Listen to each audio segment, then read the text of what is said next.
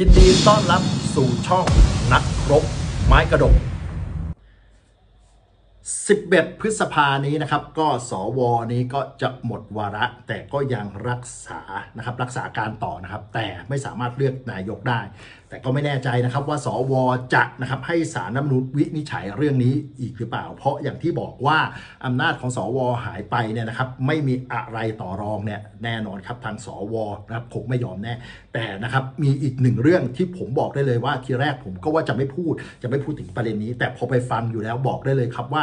ผมยอมรับเลยครับว่าวันนี้นะครับ เราเลือกสวครั้งใหม่นะครับ เข้าไปสมัครกันเยอะๆเลยครับ เข้าไปสมัครกันเยอะๆเลยครับ คิดอย่างเดียวครับ อย่าคิดว่าตัวคุณจะเป็นสวไม่ได้นะครับ เอาง่าย ๆ ว่าสวชุดเนี้ยคนที่เป็นสวชุดเนี้ย250 คนยังเป็นสวได้ ผมว่าในประเทศไทยนี้ไม่มีใครที่เป็นสวไม่ได้ เป็นสวได้หมดครับ ถ้าสวทั้ง 250 คนนี้ยังเป็นสวได้ เพราะอะไรครับล่าสุดนี้เห็นที่ออกมาบอกให้มีการทบทวนนะครับบอกให้กกตในการทบทวนเรื่องของการนะครับ เรื่องของการหาเสียงนะครับไม่ว่าจะเป็นสสสวอะไรก็เป็นการหาเสียงในแพลตฟอร์มในโลกออนไลน์ ซึ่งแน่นอนครับผมที่ผมตลกมากที่สุดก็คือว่ามีสวบางคนนะครับมีสวบางคนพูดว่านะครับให้กกตเนี่ยนะครับบอกว่าเอ๊ะไม่ว่าจะเป็น Facebook เป็น TikTok นะครับเป็น YouTube หรือเป็นแพลตฟอร์มอะไรต่างๆเนี่ยการที่คนเรานะครับจะเข้าไปอยู่ในแพลตฟอร์มต่างๆ เหล่านี้ได้เนี่ยต้องเสียเงินเท่าไหร่ เสียเงินขนาดไหนถึงจะเข้าไปอยู่ได้ ผมไม่น่าเชื่อนะครับว่าสวเหล่านี้ โง่จริงหรือโง่เล่นนะครับนะครับ แกล้งโง่หรือโง่จริงนะครับ แต่ผมว่าสวเหล่านี้น่าจะโง่จริงๆนะเพราะอะไรครับ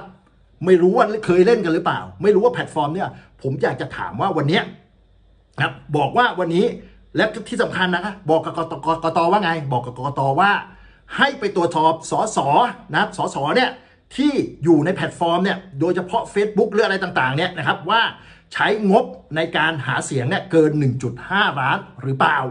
เพราะการที่ไปอยู่ในแพลตฟอร์มต่างๆเนี่ยมันต้องใช้เงินมหาศาลต้องใช้เงินเยอะนะครับ1.5 ล้านมันจะพอได้ไง ให้กกตไปดู ผมบอกเลยครับว่าวันนี้นะครับสวเหล่านี้โง่จริงๆนะครับโง่จริง ๆ ไม่รู้จะโง่ยังไงแล้วนะครับ เพราะอะไรครับเพราะต้องบอกก่อนเลยว่า การที่วันนี้ เราจะสร้างนะครับเพจใน Facebook สร้างแอคเคาท์ในในเข้าใน Facebook ใน YouTube ใน TikTok อะไรเนี่ยไม่ได้เสียเงินสักบาทหนึ่งไม่ได้เสียเงินสักบาท เราจะโพสอะไรเราจะเอารูปอะไร เราลงไปลง เราจะออกไปอะไร เราจะดั้งพูดอะไรเนี่ย มันไม่ได้เสียเงินสักบาทหนึ่งไปเอาข้อมูลมาจากไหนครับ คุณสวว่าการที่จะไปออกใน Facebook ใน YouTube ใน TikTok หรือในอะไรทั้งหลายเนี่ยนะครับ ต้องใช้เงินมหาศาลต้องใช้เงินเยอะถึงจะไปออกได้ อย่างโง่ครับนะครับ อย่างโง่ เพราะอะไรครับ เพราะแพลตฟอร์มเหล่านี้ ไม่ว่าใครก็แล้วแต่เนี่ยสามารถที่จะไปสร้างแอคเคาท์ของตัวเอง สร้างช่องของตัวเองสร้างอะไรของตัวเองได้ และผมบอกเลยไม่ว่าจะเป็น Facebook YouTube หรือ TikTok เนี่ย ไม่ใช่แค่ว่าจะต้องไปเสียเงิน แต่สามารถสร้างรายได้ให้ด้วย โง่ขนาดนี้ยังไม่รู้อีกเหรอครับ ถามหน่อยนะครับ นี่แหละครับ ผมถึงได้บอกว่าวันนี้ สว ครั้งไหนถ้าคุณไม่มั่นใจว่าคุณจะเป็นสวได้ไหมคุณสมบัติจะเป็นสวได้ไหมอะไรสวไหมคุณเป็นสมัคร ผมบอกเลยว่าถ้าคุณคิดเงี้ยคุณลืมไปเลยครับ เพราะคุณสมบัติของของประชาชนนะครับ ทั่วประเทศเนี่ยเข้าคุณสมบัติหมดตราบใด เพราะอะไรครับ เพราะสว250 คนน่ะสมองแบบเนี้ยความคิดแบบเนี้ยยังเป็นสวได้เลย ถูกต้องหรือเปล่าครับ และประชาชนอย่างทั่วไปจะเป็นสวไม่ได้หรอครับ คิดดูมีอย่างที่ไหน มาบอกว่า การที่จะอยู่ในแพลตฟอร์มของ YouTube TikTok นะครับอ่า Facebook อะไรก็แล้วแต่เนี่ย ถ้าจะอยู่ได้ต้องเสียเงิน ไม่มีหรอกครับ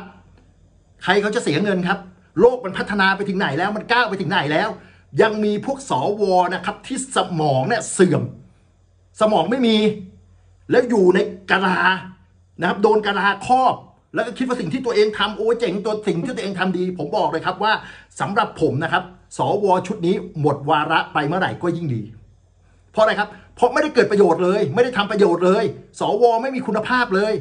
เงินเดือนที่จ่ายให้สวบางคนเนี่ยเอาไปซื้ออาหารเลี้ยงหมายังมีประโยชน์มากกว่าที่จะเอาจ่ายให้สวพวกนี้ เพราะสวพวกนี้บอกได้เลยครับ แสดงความโง่ ออกมาให้ประชาชนได้เห็นบ่อยๆ เนี่ยอย่างกับเรื่องนี้ผมบอกเลยครับ คุณไปเอาข้อมูลมาจากไหนครับนะครับผมบอกเลยครับว่าผมเนี่ยก็เล่น YouTube มาตั้งนานแล้วนะครับเกือบ 2 ปีแล้วที่มาทำช่อง YouTube ผมยังไม่เสียเงินกับ YouTube สักบาทมีแต่ได้เงินด้วย ผมเล่นนะครับเฟซเนี่ยมาไม่รู้กี่แอคเคาท์แล้ว ผมก็ไม่เคยจ่ายเงินให้กับ Facebook แม้แต่บาทเดียว TikTok มีผู้ติดตามผมเป็นแสน ผมไปโพสต์ใน TikTok ผมก็ไม่ได้เสียเงินแม้แต่บาทเดียว และทั้งสามแพลตฟอร์มเนี่ย ผมก็มีรายได้จากทั้งสามแพลตฟอร์มนี้ด้วย เสียเงินตรงไหนครับ นี่แหละครับเขาเรียกว่าสวที่ไม่รู้ห่ารู้เหี้ยอะไรเลย แสดงแต่ความโง่ออกมา อย่ามีเลยครับสวแบบนี้ ฝากเอาไว้นะครับว่าวันนี้ถ้าคุณอยากสมัครสวแล้วคุณคิดว่าคุณสมบัติคุณไม่คุณไม่ดีพอ หรือคุณไม่มั่นใจ คุณบอกเลยครับว่า ถ้าสวทั้ง 250 คนยังเป็นสวได้คนทั้งประเทศไทยเป็นสวได้หมดครับ เพราะอะไรครับ มันแสดงความโง่ให้เราเห็นอยู่บ่อยๆ แบบนี้แหละครับ